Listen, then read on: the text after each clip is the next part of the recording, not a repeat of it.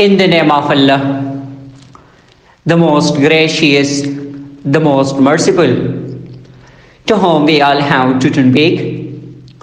Honorable listeners and respectable audience, you know that we have started a series of linguistics. In linguistics, we have commenced the chapter.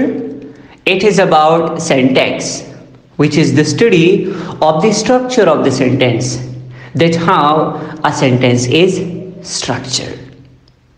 Listeners and audience, you know that two days before we have started the theory and the syntax, which is known as generative grammar. The theory was introduced and developed by Noam Chomsky in 1950. The basic principle of the theory is that human being is born with innate capacity. And there are a set of rules for uh, language in the brain of human being which are already programmed in the brain of human. So then a common human being is able to understand even the correct and an incorrect sentence based on his that knowledge which is also called unconscious knowledge listeners and audience yesterday if you remember i told you that the generative grammar theory also explains and defines uh, some rules of other language or the grammar of other language. How generative grammar defines the grammar of a language. According to generative grammar, a grammar of a language must be capable to produce and generate the correct structure, the correct syntactic structure, the well-formed structure and will not generate the well the L-well structure or the ill-form structure. L-form structure means the incorrect structure. So the grammar of a language will not generate the ill-form structure. And then the next point I shared with you that was that according to generative grammar theory, the grammar of a language must be capable to have a finite set of rules and which will be able to generate different structures with the help of those finite rules. So with the help of finite rules, those uh, sentences, those structures, syntactic structures will be able to produce infinite sentences. And the third one, that was that there are sentences which are superficially they are similar and identical and closely related to, to each other.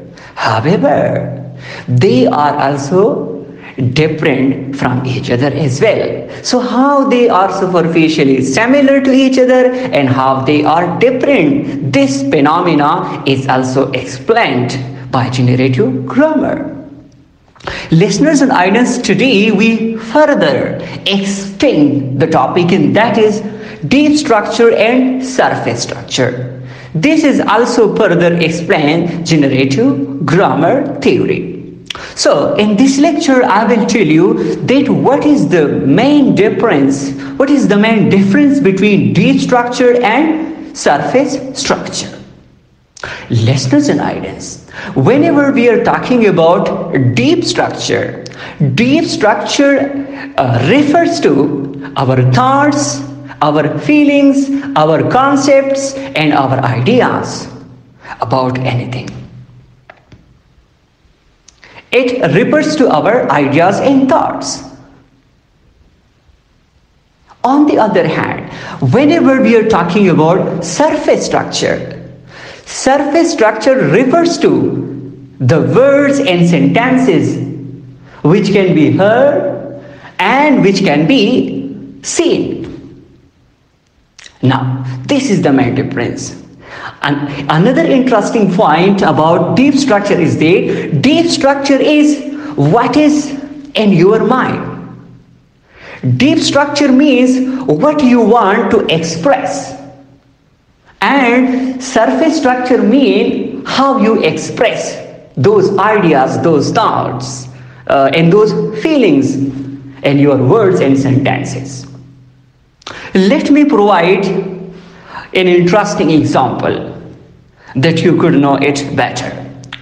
For example, you went to a market in order to uh, buy the clothes.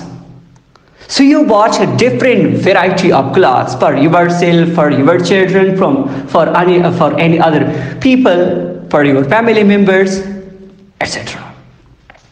Now, you want to share those ideas or that practicality which you already, for example, bought the clothes.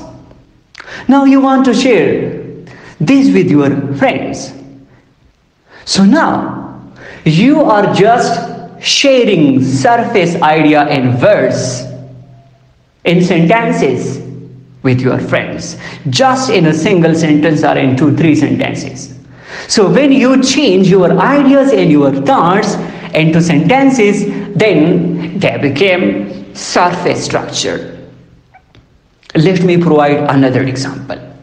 For example, if you say to someone, I bought colorful clothes, this is surface structure because it can be seen and it can be heard and listened to.